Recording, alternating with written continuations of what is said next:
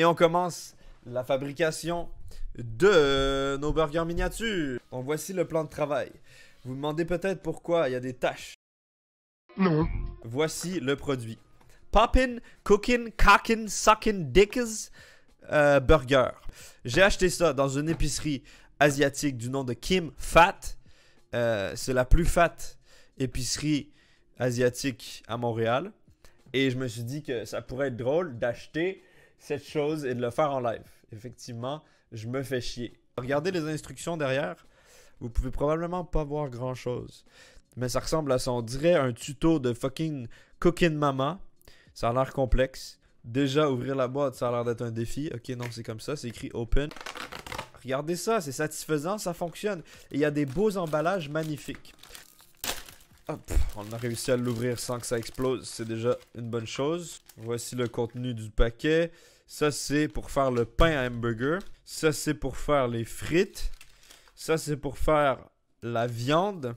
Euh, ensuite, on a la poudre pour le ketchup et la poudre pour le Coca-Cola. Ensuite, on a le fromage en sachet. Et on a un petit truc pour boire. Uh-huh, comme ça. On a des outils, un couteau et une cuillère. Et on a ça qui va sûrement être pour fabriquer les trucs. Ça, c'est les moules pour les pains, j'imagine, etc. Euh, on commence par les frites. Add a triangle cup of water to the rigged, bottom tray. D'accord. Add powder from the blue packet. Donc j'ai le blue packet. Le paquet bleu. Parfait. Euh, mix until the dough thickens. Spread and flatten using your fingers. Parfait, j'ai compris. J'ai compris, mesdames et messieurs. Je vais vous expliquer. En gros, ce petit truc-là, c'est un truc qui sert à mesurer l'eau. D'accord? Donc on va mettre l'eau. C'est une tasse à mesurer d'eau. Donc je me suis pris largement beaucoup trop d'eau parce que je dois remplir juste ce petit truc-là. On va essayer de ne pas faire une catastrophe. J'ai bien dit essayer.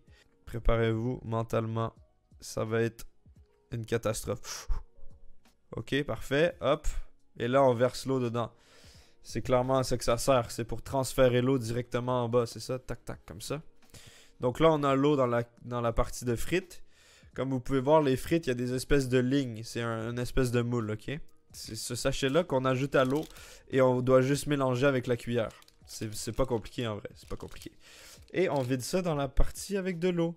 Hop. Je l'ai vidé au complet, ça fait une poudre blanche. C'est bizarre, la poudre est blanche, mais avec l'eau, ça commence à jaunir. Donc on mélange.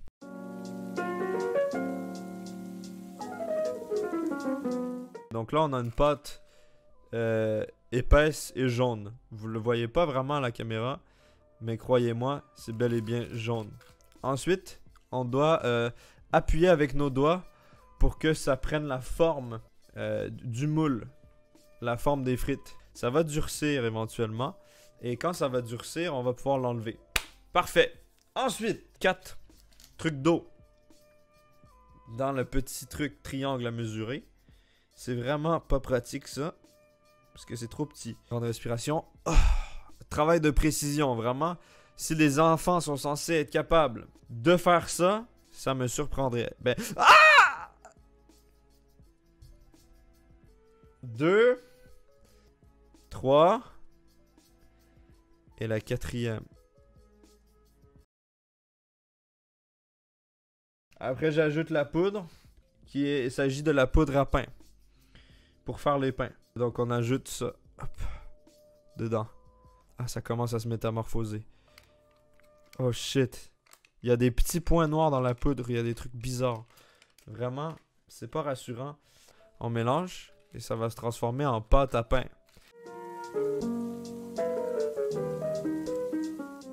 Ok, ensuite on ajoute ça dans nos deux moules à pain qui sont les deux cercles ici. Donc on doit le diviser en deux parts égales et on met ça dans le moule. Parfait. Et on appuie avec nos doigts pour former le pain. C'est quand même beau. Je fais bien, je fais bien les choses. Je fais bien les choses. Ensuite, prochaine étape, on ajoute cette poudre noire.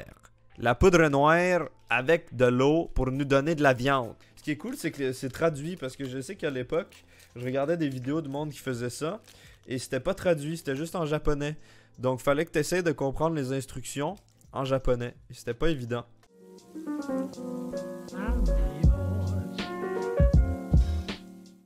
Et on ajoute ça dans la partie euh, du milieu qui est censée être la viande. Donc. Ah, sale. Comme ça. Comme ça. Ça a l'air très appétissant, n'est-ce pas? Ça donne envie. Ça donne envie. Ça, c'est nos pains de chaque côté, la viande et les frites ici. Voilà, je vais y goûter. Vous savez quoi? C'est l'heure de goûter. C'est censé être comestible. Bon appétit. Ça sent le chocolat. Ah, I don't like.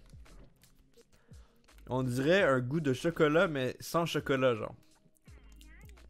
On dirait une, reconstitution en laboratoire du chocolat.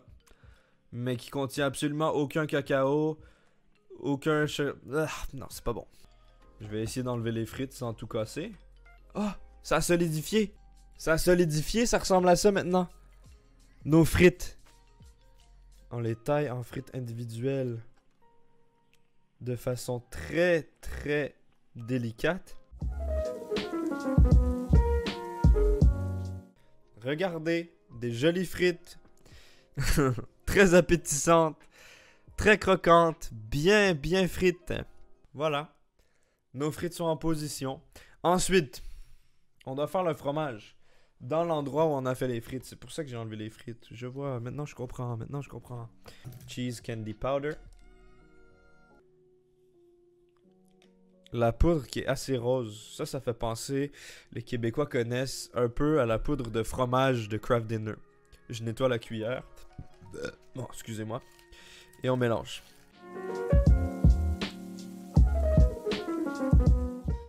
Donc là, le problème, c'est qu'ils veulent que je mélange bien le truc et ensuite que je le sorte et que je l'aplatisse à la main à l'extérieur de la boîte. Donc on va le mettre ici. Et on va l'aplatir avec nos doigts qui sont secs. Ah, ça colle. Comme ça, hop. Donc on va tailler les petits bouts qui dépassent. Indésirables. On les enlève pour faire une tranche très très bien formée. Et on coupe le, tout en deux. Euh, environ ici. Voilà. Ketchup, powder. Venez respirer un peu.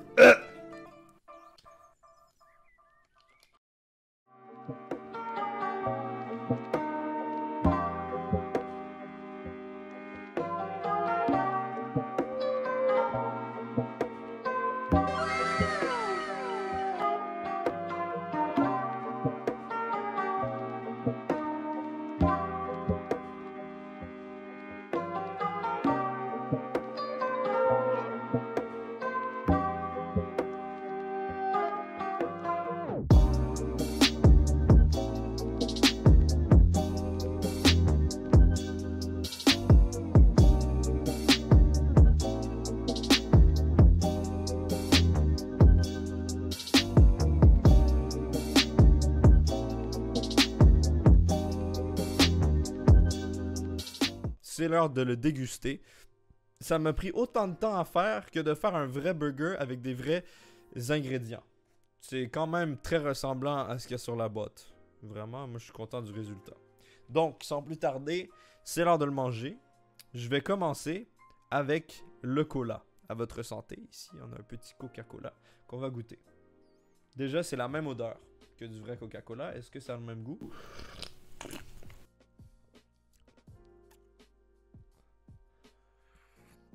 Ah. C'est vraiment pas bon. On dirait un Coca-Cola qui est resté pendant des années ouvert. Il y a les bulles, il y a des bulles par contre, mais c'est pas assez sucré. Et il y a un petit goût de vieux.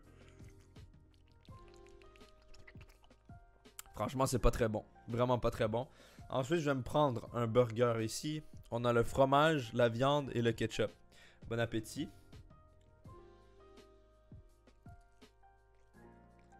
Ah Ah, ah, c'est vraiment pas bon, même. C'est désastreux. La texture du pain. C'est surtout le pain. On dirait du pain mouillé. En gros, on dirait du pain qui a été trempé dans du sirop sucré. La viande est gluante. Et c'est tout est sucré avec des genres de. Je viens d'en cracher. Avec des goûts fruités bizarres. Non, c'est pas bon. J'ai même pas envie de le manger au complet. Pas bon. Par contre, le ketchup. Le ketchup est quand même bon parce que c'est acide. C'est genre des bonbons acides, j'aime beaucoup. On va se prendre une frite. Une frite au ketchup. Pour l'instant, mon seul espoir, c'est les frites. Les frites ont l'air bonnes. Avec le ketchup dessus, ça va être bon.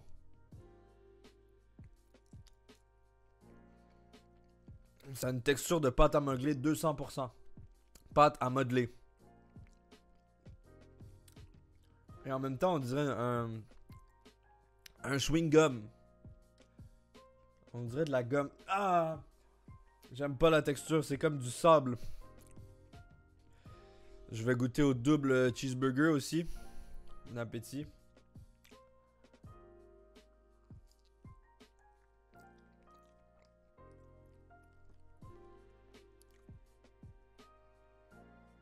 C'est vraiment pas bon. Tout ça pour ce truc dégueulasse. J'ai pas envie de finir. ma- Pas envie de finir ma bouchée, sérieux.